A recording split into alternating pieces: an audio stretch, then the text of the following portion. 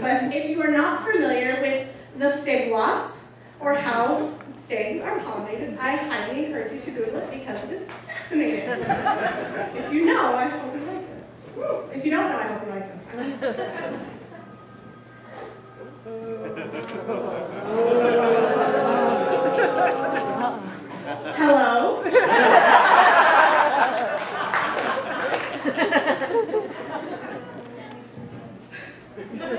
Right.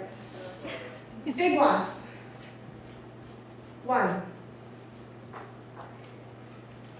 She is destroyed completely in the process, either becoming trapped inside the male, which serves its purpose only for her children, or becoming trapped inside the female, dying wingless and alone, leaving only sweet fruit behind. Two.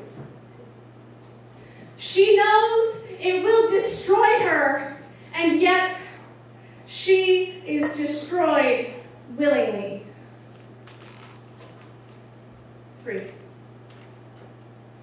The female fig. Did you know they were gendered? Produces an enzyme that digests the wasp completely. The fruit will not mature until this is done. Sometimes beautiful things are born of self-destruction. Thank you.